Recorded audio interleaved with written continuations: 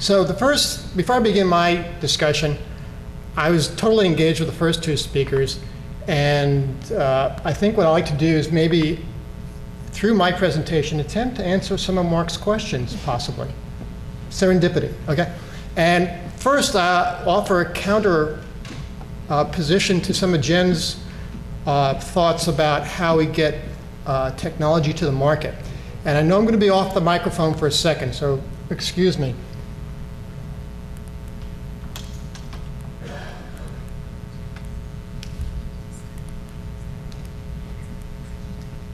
So that's, that's the classic market diffusion curve you always see. And then Jen presents how you move across that and get your passive house into the market with the first strategy, which is more of a market-based strategy.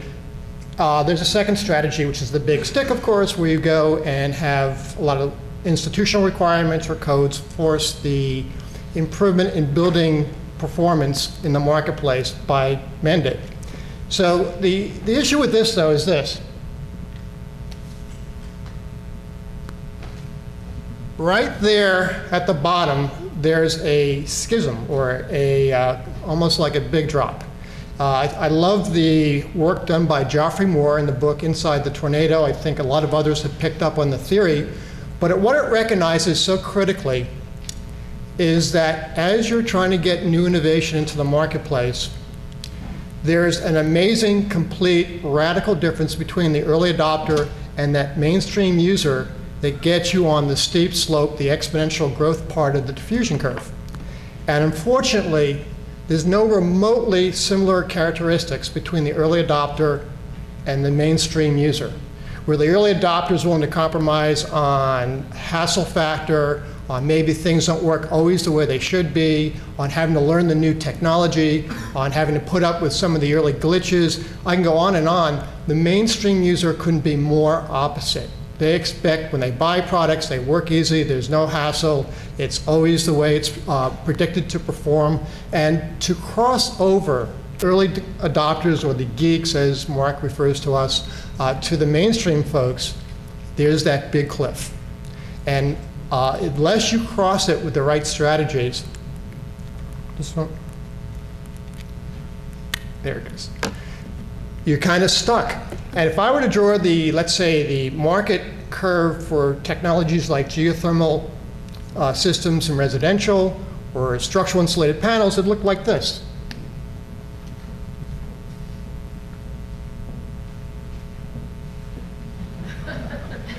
They essentially flatline once they get to the cliff. So you find geothermal systems are stuck at 2% market penetration. Structural insulated panels are stuck at 2% market penetration. This is over 20, 30, 40 years. So um, if you are interested in going to Geoffrey Moore's thesis, which I think is great, the way that you get past the cliff is essentially you need what he calls the bowling alley strategy. Imagine all the pins stacked up like a bowling lane each row of the pins is a, a, a, key segment, and there's an application within each market segment. And what you have to do is you have to find a way to fight effectively the 800 pound gorilla. So, by example, let's say I'm trying to get a new database into the market, and the 800 pound gorilla might be, let's say, Oracle, as an example. How do I compete as a new technology, new innovation with Oracle? The bowling alley strategy would submit that what you need to do is attack one market segment, application by application, and own it.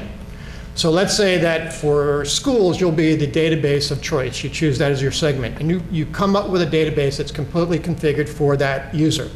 It does grading, it does attendance, it does uh, reporting, it does all sorts of other factors you need to do in a school environment for small schools, and it goes to high schools, and does colleges and universities. And you move through and wind up being the database of choice for that segment because you've addressed that user with an absolute, perfectly designed, tailored solution. Then you may go to hospitals and medical field and have for small hospitals, you do billing and you do reporting, you keep track of records for patients and so forth. And your database is already configured to do everything they want to do.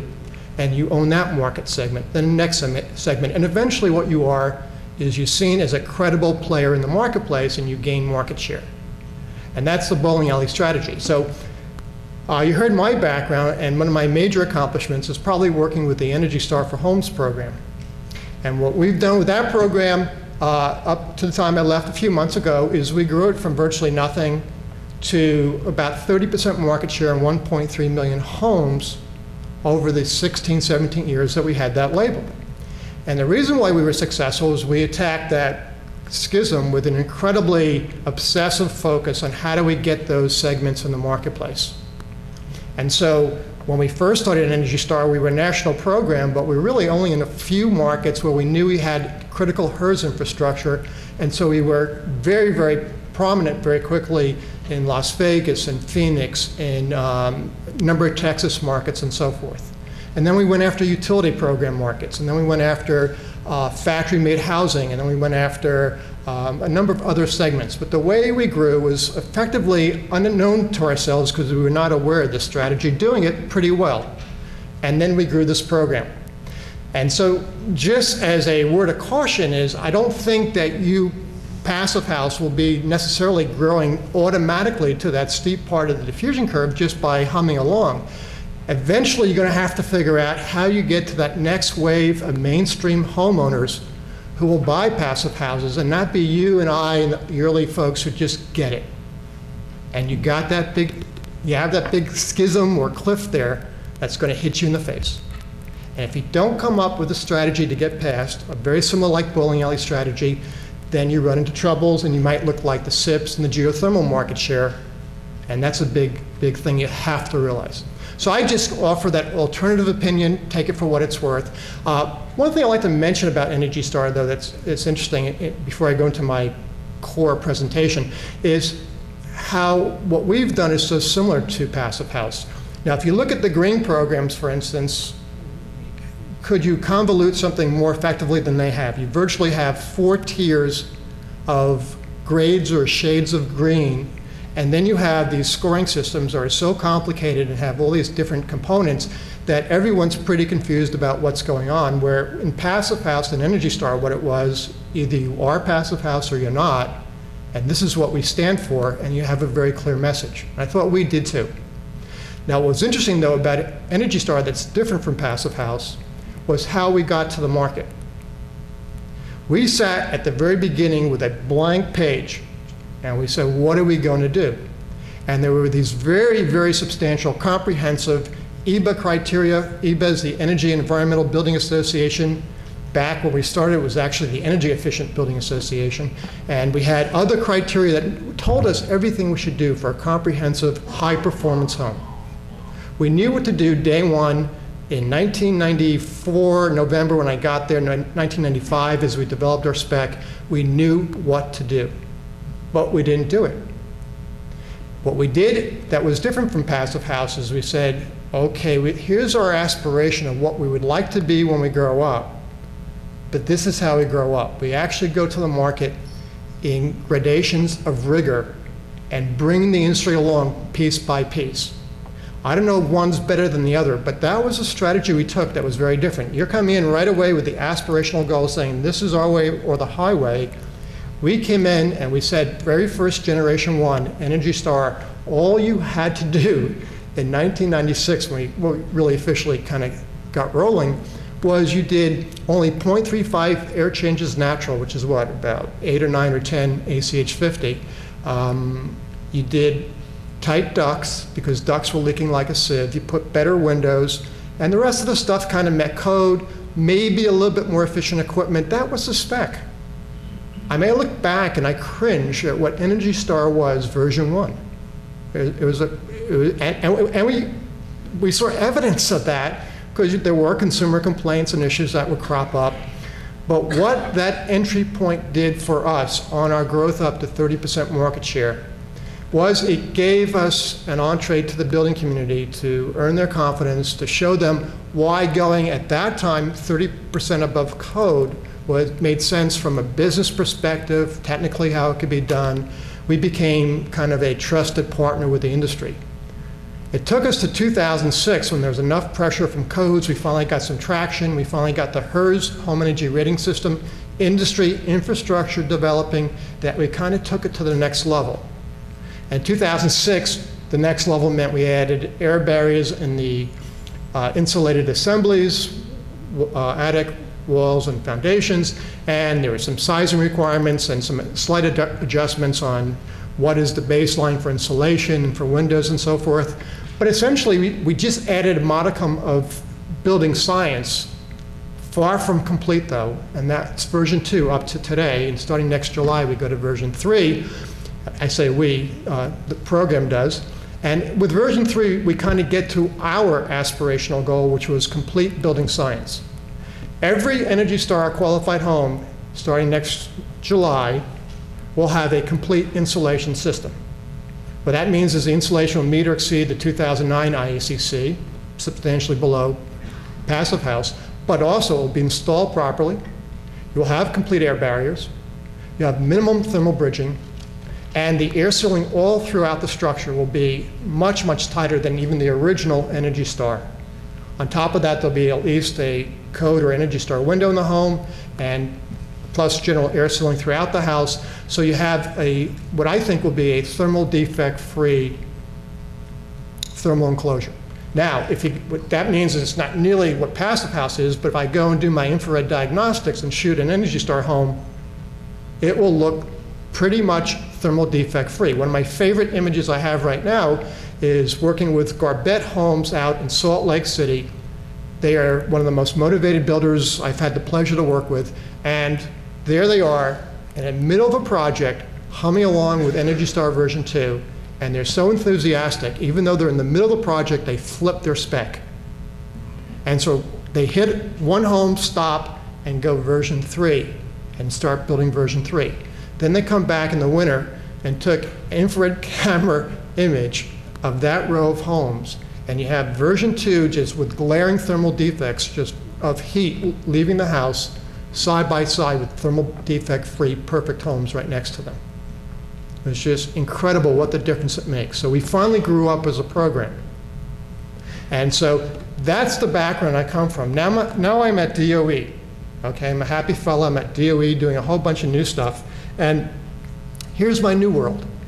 Uh, my world, first of all, involves a lot of research. Now, there's the uh, Building America program, which is basically developing new innovations for ultra-low energy homes. Uh, we work with the national labs who contribute. We have emerging technology programs. CRADAs are cooperative research and development agreements. On top of that, we have a number of deployment activities. Um, I have a resource tool I'm developing right now that's brand new that will, from your lap, uh, from your iPad, from your smartphone, or if you want to use a normal website, you'll be able to access any detail on any aspect of high performance homes, from thermal enclosures to efficient equipment to renewable energy ready construction to disaster resistance to water protection to even how you do uh, diagnostics in the field. You'll pull up any information you need that includes scopes of work, uh, it'll include um, diagrams and uh, graphic depictions of the measure. You'll have side-by-side images of how to install correctly and incorrectly that measure. Uh, You'll pull up information that has the CAD drawing so you can drop it into your construction documents. Uh, If you need to build a case for uh, helping a decision maker move to that level of performance, you can line up as many case studies as you need for that climate, for that type of housing, with those uh, specific measures. And you'll also have access, if you're a geek like us, to all the full detailed research reports, all from your smartphone or iPad for any measure that gets you to a net zero level performance house. So the resource tools are an amazing asset, and it's, it's just combining all the content that we have in our shop, that we developed at uh, Energy Star, that we have outside contributors bringing forward. So it'd be an amazing, amazing resource for builders, contractors, educators, for HERS raters, for building science professionals, for anyone who needs any content, how to get to an ultra-low energy consuming house. And then we have a Better Buildings programs that works with communities to develop better deployment strategies for getting retrofits in the marketplace. Workforce guidelines are essentially a massive amount of scopes of work for how you do retrofits. And hopefully, most of you know about the solar decathlon. Show of hands, most of you know? Yeah, it's, well, of course, Maryland won this year, so uh, that's a big deal. But it's an amazing program that stimulates the students in this and other countries all over the the world to just bring forward innovation and how to do absolutely net zero types of uh, homes, and it, it's an amazing program. And then we have the labeling programs. We have Builders Challenge, which is going to be the focus of what I talk about today. Home Performance with Energy Star is basically a solution for getting whole house retrofits into the marketplace. Energy Star is a label as for new homes and products, and then there's the Home Energy Score, which is our new kind of asset score for your house that's an existing home. And I won't go into any of these in detail, but I want to give you the depth and breadth of my world that I come from. And then we have to think about how to get better and add more. Oop. Hopefully I'm still good with the recording process. Uh, how to get better with addressing the transaction process. What's really frustrating is we're doing amazing things, and appraisers could care less. Lenders price their product, mortgages, as if there's no difference in risk to them, the lender, with a loan for a horrible house that's the worst home allowed by law, which is you know is a code home, versus a high performance net zero type of home. Can you imagine that no risk difference for those homes? Water protection, durability, maintenance, future value, ability to homeowners to afford to live in those homes, and they're the same risk from a lender. You price a mortgage the same for a, a code home and a, a, a low energy home. It, that's astounding. And the same thing for insurance. Why are insurance rates the same for these incredible passive homes and low energy homes and a minimum code home? All the protections that are in those homes, it, it just doesn't make sense. And we're also concerned with the sales infrastructure. I personally, as the national director for Energy Star for Homes, must have done uh, mystery shopping at homes all across, home subdivisions all across this country, tens of thousands of homes worth. And it is a sad state of sad skill, sales skills that we have in the marketplace for, for presenting to consumers the value of what you and I are doing. It just doesn't happen. I do eight hour training classes just on sales for yucks, just to try and bring forward some of the amazing uh, skills and um, ways of presenting the compelling reasons why we should buy these homes to people who work in the real estate industry. It's just in incredible. So these are on our ra radar screen. And then the code process is sitting there right at uh, DOE as well, because we actually contribute to that as well. And you have all the code going down uh, from 2009 to 2015. You won't believe the revolt on our hand, on our hands right now for 2012. And uh, and then there are net zero codes around the country we have to be attuned to as well. So that's my world. And I'm going to talk quickly today. I mean, this is what I focus on in those green boxes the Building America Resource Tool, Builders Challenge, and Appraisal. That's where I'm spending most of my time. But I want to show you this one more piece of my world, which is how I'm trying to fit and understand how all these parts go together go together. And essentially, Building America is, is developing and feeding the innovations. And it goes either straight sometimes to Energy Star or first to the Builder Challenge, which is a higher rigor specification than Energy Star. And then Builder Challenge feeds Energy Star because we almost wind up with Builder Challenge being a farm system, if you will, for Energy Star. We, we have the innovations come out of Building America, and if they are ready for prime time, Builder Challenge will put them into criteria that become part of that label.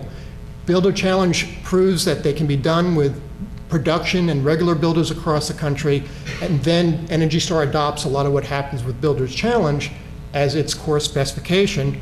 And then when Energy Star is successful, it goes straight to the codes.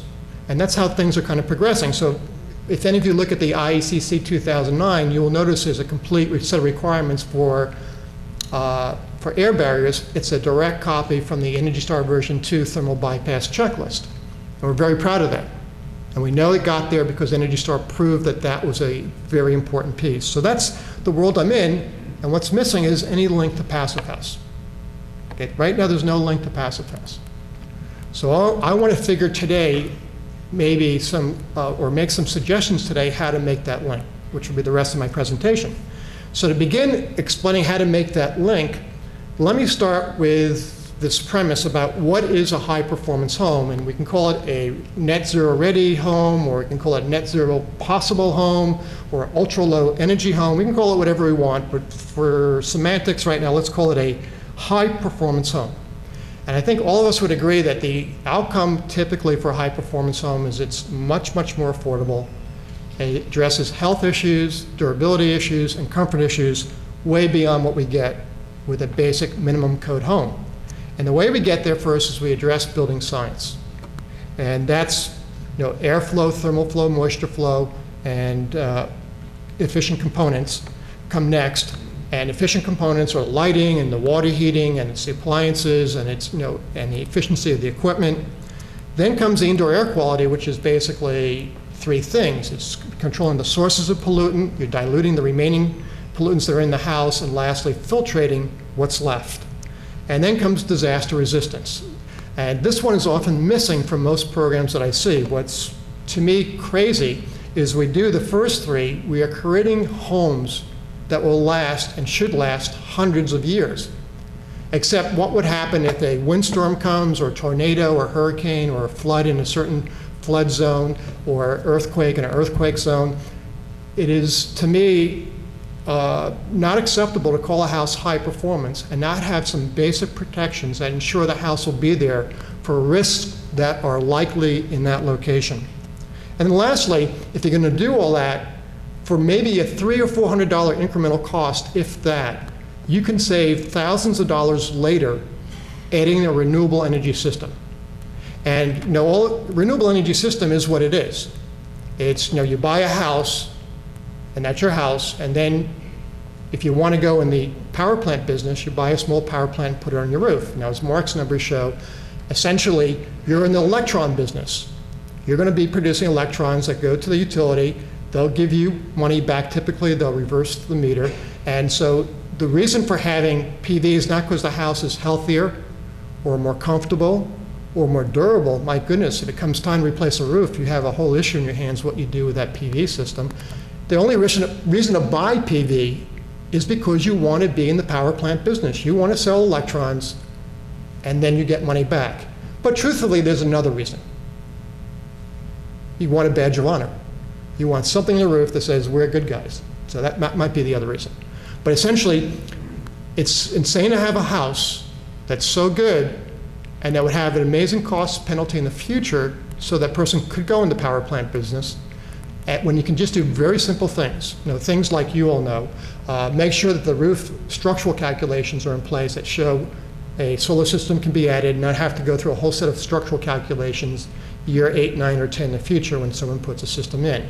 Having conduit or piping to run pipes or wiring. Have a place to put an extra tank for the solar, or having a place for the inverter, having two circuit breaker boxes dedicated for the PV in the future, uh, having two valves that let you valve off the piping to a solar tank and back without having to do all these extra, very expensive cuts into the piping and so forth. They're not very significant, they're very, very minor, but you can make a house renewable energy ready on the front end, and then the owners know they have a very special house that can go as far as it wants with renewable in the future. Okay, so those are the five pieces. So the airflow, thermal flow, moisture flow, HVAC, source control, weather, pass, and solar electric and solar thermal. So what I want to do before I suggest how we can think about combining Builder's Challenge and Passive House is maybe look at how we compare across all these components.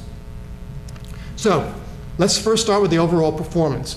The uh, reference design process is what we use with both Energy Star and will be for Builder Challenge. Reference design, the way it works is uh, it's simply a detailed set of specifications that you put into your software. It yields a score. The specifications are chosen so they're so rigorous, it delivers a very efficient home. In the case of Energy Star version 3, a HERS 70 or better, and in the case of Builder Challenge, at least a 60 or better. We've done analysis so far, it shows more like an average of 55, but the 60 is the target. Okay, when you see red, red means it's mandatory. So those are mandatory, and your requirements for a threshold are the 15 kilowatt hours per square meter per year, and the primary energy of 120 kilowatt hours per meter squared per year. So you have those, uh, we have different thresholds. They're all pretty rigorous. Now, what's very different about us, though, is this. We address the size issue two ways. What happens is that a HERS score will be much lower or better for a bigger home because that's the way the HERS scoring system works. It looks at metabolism versus total energy, and the metabolism rate is shorter or lower for a bigger house with a big shell. So we take the big house advantage away with the reference design because you get a custom HERS score. You run the, uh, the uh, specifications from the reference design, which are simply a set of very, very rigorous features in your software, and the score will vary for a big home, a small home. So wind up that the, you don't get, get that advantage for the big home over the small home. And what also winds up happening is that the HERS scoring system gives advantages to certain fuels and certain locations and certain types of foundations. All that goes away because you have a custom score where all the same innovations are modeled and that becomes your score. The second way that we take away the size uh, factor is with a size adjustment factor. In addition to taking the size advantage away because of a reference design, what we do is if your house is bigger than what we call a reference or no, a benchmark home, you have to get more points. And there's a equation that's run in the software, as a matter of fact, that shows how many points you have to do. But let's say you go from a three bedroom, 2,200 square foot house, which is the benchmark size for a three bedroom house, to four or 5,000, you need another six or seven HERS points. So essentially what's happening is your HERS score is going lower as your house gets bigger. So in Energy Star and Builder Challenge, you have to do more as your house gets bigger. You don't have that with uh, Passive House. Now, we, like you, we don't allow the PV trade-off to get you a basic score, but we allow photovoltaics or other renewable energy to contribute to the additional points you need for the size adjustment.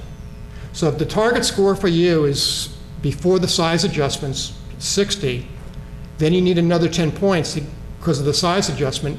The 10 points additional that you need can come from the renewable energy system. That's the way our system works. Okay?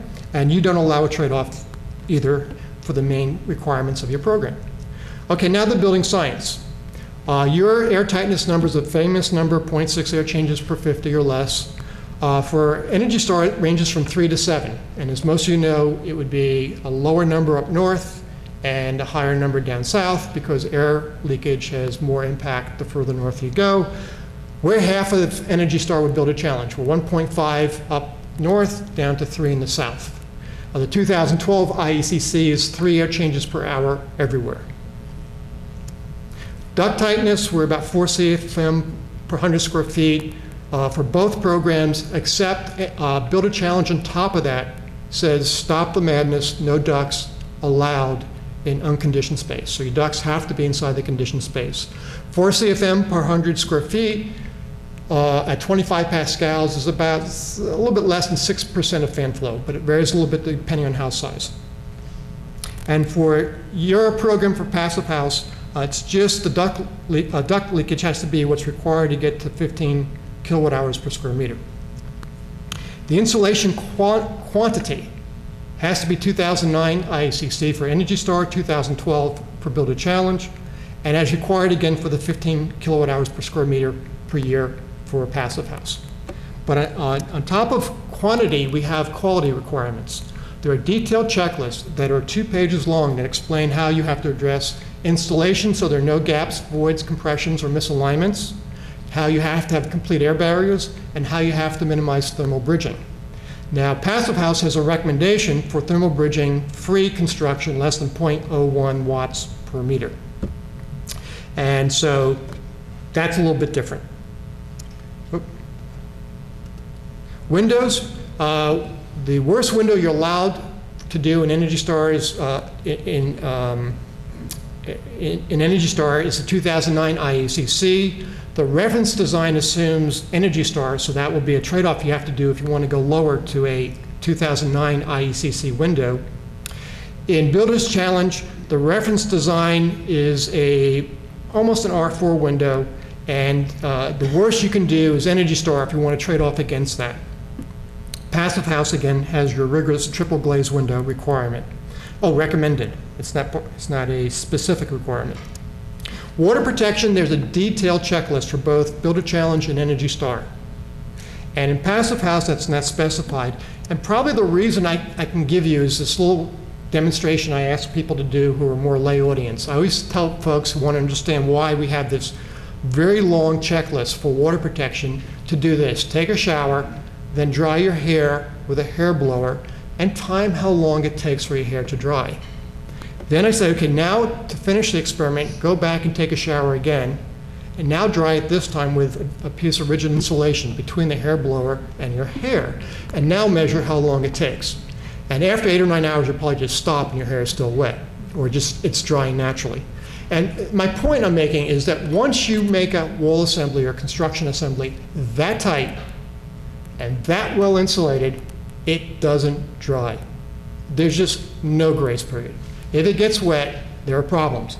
So in fact, even though water protection doesn't save you one iota of energy, it is an energy feature. You can't take a house that tight and that efficient and not have a massive checklist that makes sure there's no way water can get inside your homes, at least if you want to work with mainstream builders like we do. Okay? Your builders are probably doing all this stuff already because of who they are and where you're coming from. But again, you want to cross that schism, you want to go to the mainstream audience at some point. You need controls to make sure you don't have these failures in homes that are doing otherwise incredibly amazing improvements.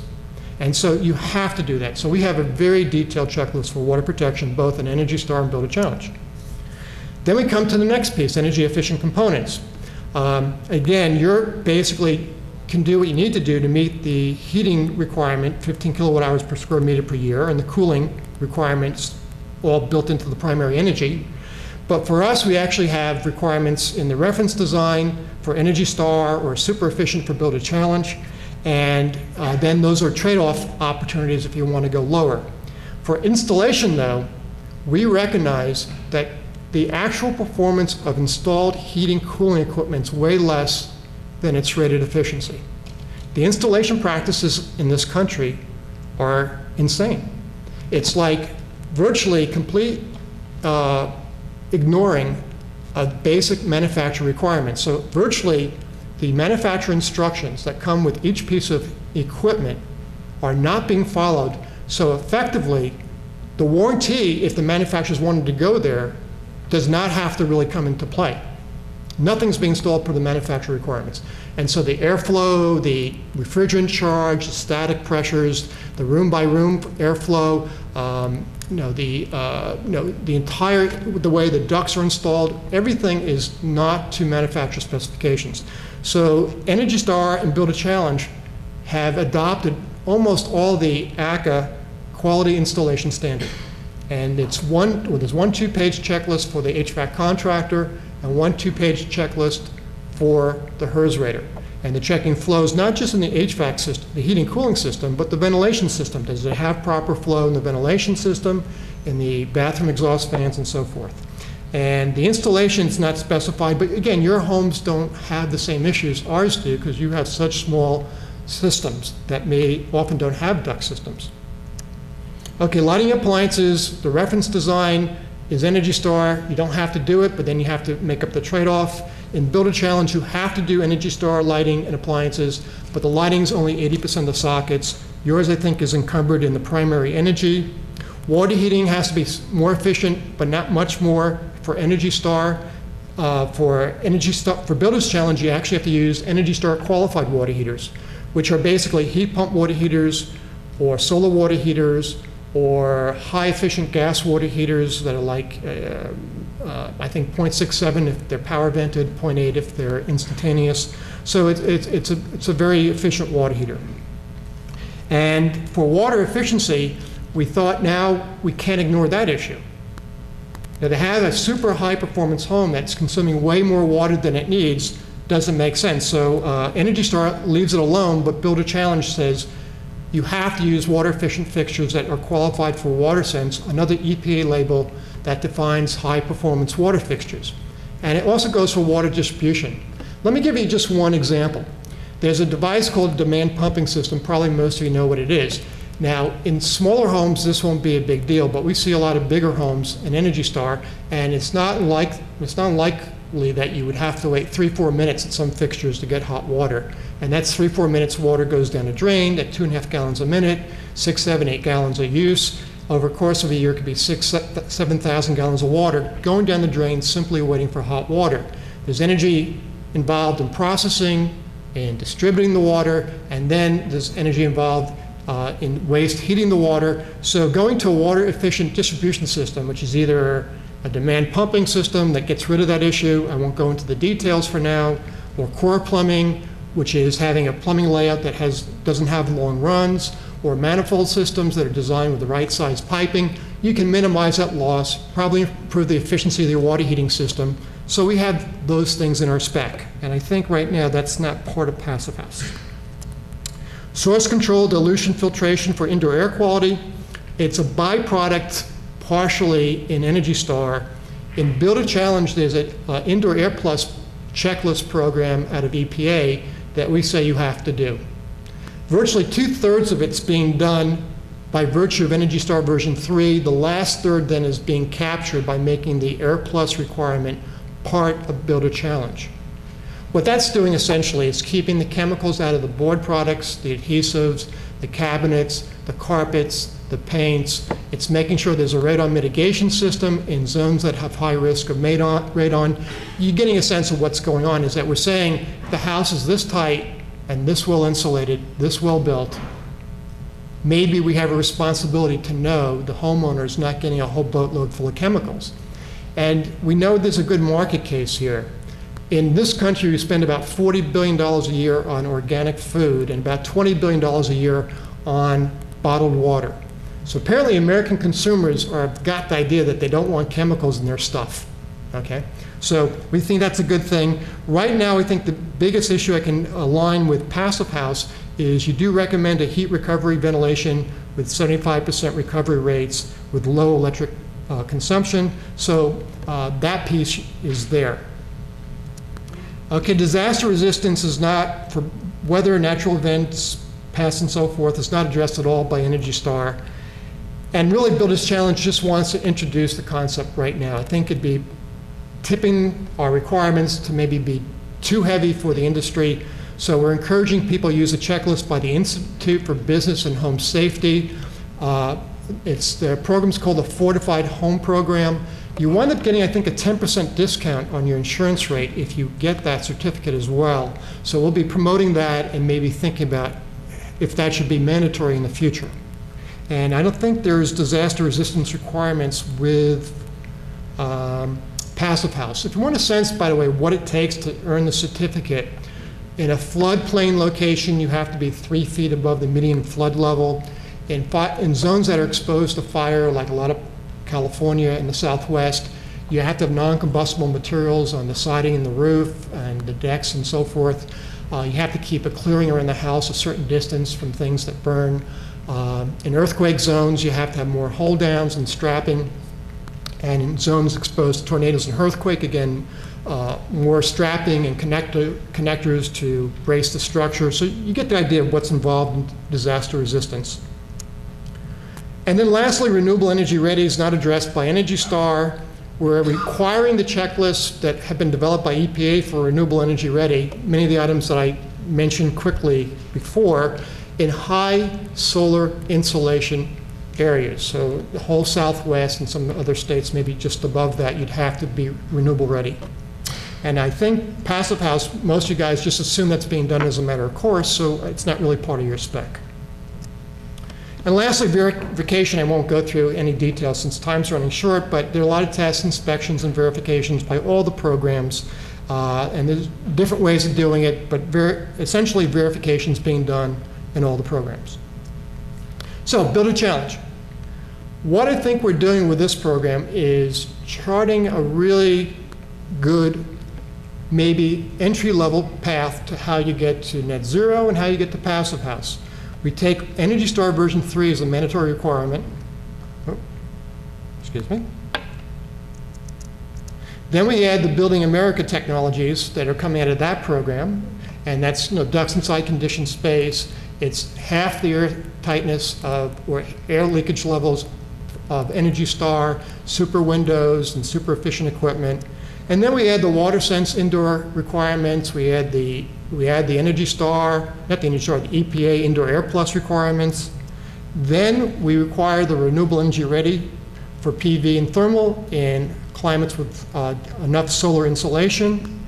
We encourage fortified home certificate, and we call that Energy Star Builder Challenge or just Builder Challenge, depending on how this label works out in conversation with EPA. And that's our label. And then we think you're ready for renewable power. Now, how often around the country in our travels for all of us are we seeing PV systems going in homes that are barely above code? Now, just an absolutely silly process. And so I think providing in the marketplace a prudent path to how you get to a ultra low energy home that's ready for renewable systems is something that's really worthwhile. So how does this all compare? Here's Energy Star version 3. And if we're trying to get to we're really ready for net zero, we have a lot of building science, we have a lot of efficient components, we're getting a lot of byproduct of indoor air quality, and we don't really have disaster resistance or renewable ready addressed. Then comes Builder Challenge, and I think we're getting very, very close to where we should be for net zero ready with the building science, the efficient components, indoor air with the complete checklist is in great shape, and I think disaster resistance is encouraged so it has a dotted line. And because renewable ready is so well addressed with that checklist, I think we are obviously renewable ready. And then here's Passive House. I think you're almost at net zero for building science. I leave off a little piece because I like to see the water protection system in the specification. I know, you know, your guys are all probably doing a great job with it, but the spec as it moves to mainstream, I think needs to be more prescriptive about you cannot leave this out because virtually it ensures failures in homes with the amount of insulation and air sealing you have with a passive house. Your efficient components are, are there, I think, by virtue of the primary energy requirements. You don't have the indoor air quality addressed proactively, I think you probably get it indirectly because of who builds your homes. But you know, right now, looking ahead, if you read the specifications, it's not there. And of course, disaster resistance and renewable ready are not in your specs as well. So that's just an observation. So my point is, maybe the way we get to some of Mark's concerns about what do we do about having specs that are ready and climate responsive and address different needs and and give builders a way to do things that are appropriate to the climate can be addressed by having maybe a, a, a, some sort of way to partner with Builder Challenge. And it begins, for me, with making Builder Challenge maybe a prerequisite for Passive House. You'll ensure moisture control without having to go through all the detailed changing your specifications. You'll ensure complete indoor air quality without having to change your specifications. You'll ensure water efficient practices, which I think many of you will observe, in this country at least, is a more significant issue than energy in a very, very large portion of this country. And maybe get off being silent on that is a good thing. You'll encourage disaster resistance, which is missing, and you'll ensure renewable energy ready performance.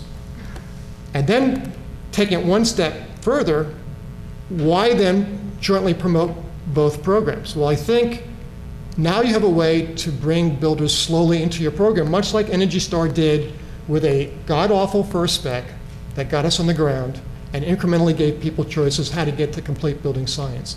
I think there's an opportunity to show Builder Challenge as a prudent way to start working your way to this aspirational goal of Passive House, which is an incredible specification. And you'll increase your outreach to the U.S. housing industry because you have 8,500 builders today working with Energy Star version 3 and Energy Star program.